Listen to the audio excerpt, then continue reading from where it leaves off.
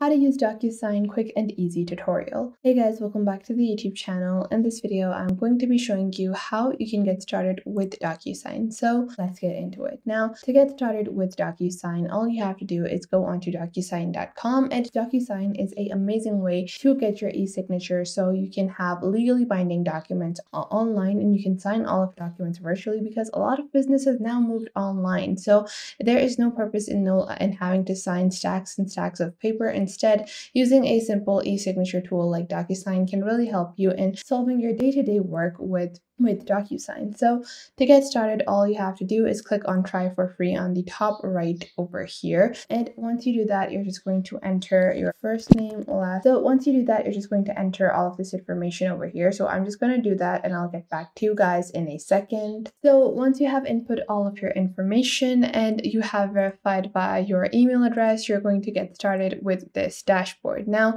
all you have to do is you're just going to get started. So the first thing you can do is get started with your signature. So the thing that you're going to do is on your top right, you're going to see this. So you're going to click on create signature and you're going to start building your signature. So you can choose to add your full name, whatever the name when your is going to be and your initials. And you can see these certain signatures that you are going to be given. You have quite a few different options to pick from and you can click on create over here. And this will be a representation for all purposes to use on your financial documents or any other kind of documents. And just like that, you have chosen a signature. If you don't want to choose a signature, you can also click on draw over here and draw your signature as well. If you want to draw it yourself, that is one way to get started as well. So you have quite a few different options available. So you can just really draw it however you like. And if you're using a iPad or a tablet, it's going to be a lot more easier for you to draw your signature if you're using a touchscreen device. So I would recommend if you want to draw it yourself, then you should do that. Or you also have the choice to upload your signature. So you can choose a photo of your signature, just just take a photo of your signature and upload it over here and that would be used as your e-signature as well. So if I click on draw over here, I'm just going to draw my signature just so you guys have a understanding of what a drawn signature is going to look like. And this is nothing special. I'm just going to give a simple signature over here like this. So I've just drawn this signature and I'm now going to draw my initials as well like this. And now after that, I'm just going to click on create. And now these are being created as my signatures. So uh, now once I have done that, I'm going to click on start now. So I can click on this and I can begin uploading my documents to start actually uploading my files and signing my documents. So I can choose my desktop, OneBox, Dropbox, Google Drive, or OneDrive to begin with adding my documents. Not only that, you can also go back onto, so if I go back onto my actual home box, so you can see this is, this is my home page, I can also click on templates over here and you can create a simple template as uh, like let's say you have to sign an invoice every time you send it. So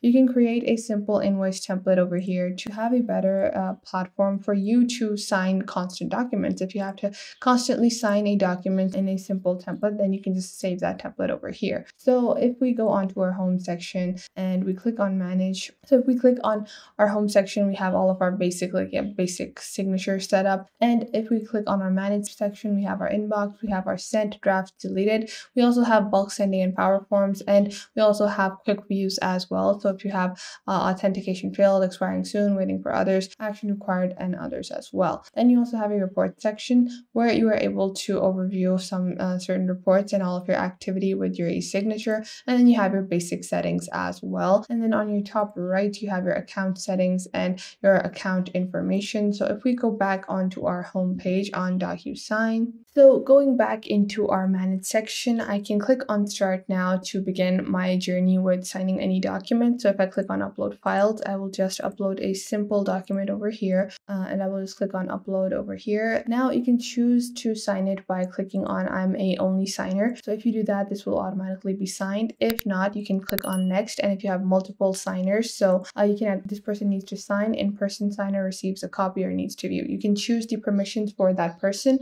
as well well. And we're just going to enter the name and email and you can also customize this.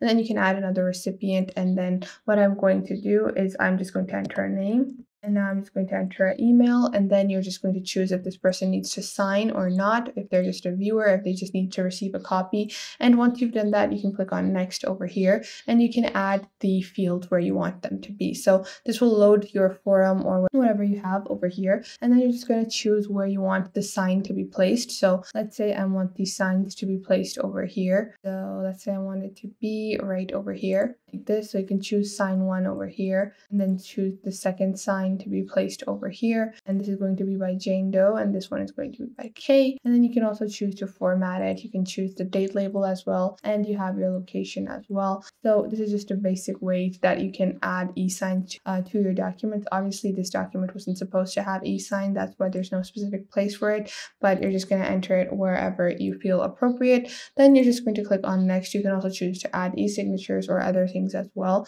And then you have review and send. So you can send a specific message to the recipients as well. And then you're just going to click on send over here. And once you've done that, this is it. So you've sent the first little e-signature document to the people that you need to send it to. And now you have one action required, which is a simple document that you that I just sent to myself as well. So I can just click on sign over here to begin signing. This will open up the document that I need to sign. So this is just opening up our document that we just created to sign ourselves and to one other person as well. And this will just show you exactly how it's done. So just like that, we have have continue over here and you can see the start and then the sign and just like that I've signed it and then you can click on finish and now you can see our sign has been added to the document and it is now a simple and easy process so this is how simple and easy e-signing documents has become if we take a look at pricing of document at the pricing of DocuSign because it is not a free to use application it starts at $10 per month and it is going to charge you $120 annually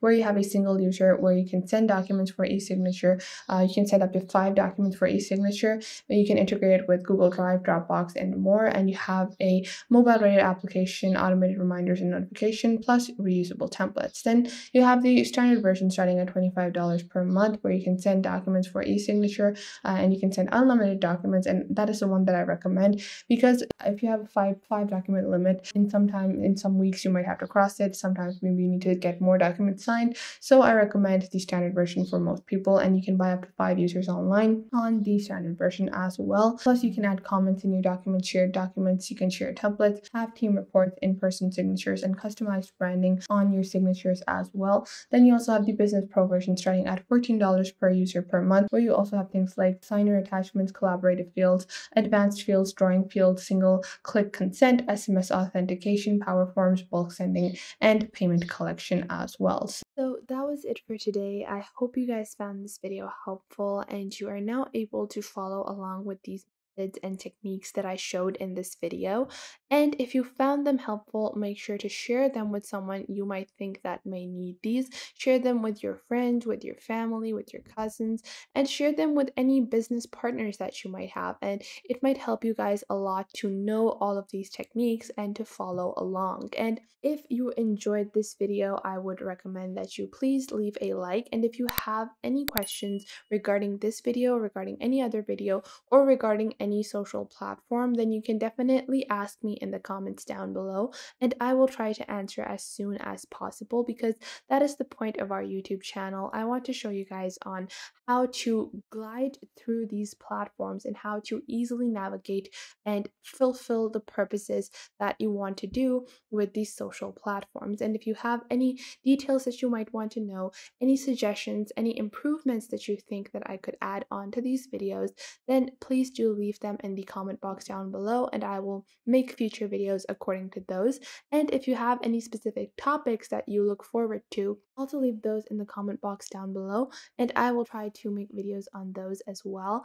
And make sure to subscribe to our YouTube channel and check out other videos. And if you feel like some other video might be helpful to someone else, make sure to share our videos with your friends and family as well. And if you find that there is something missing, I will try to figure out a way to integrate more accurate content according to your needs onto the channel. So make sure to tell me if you find anything missing.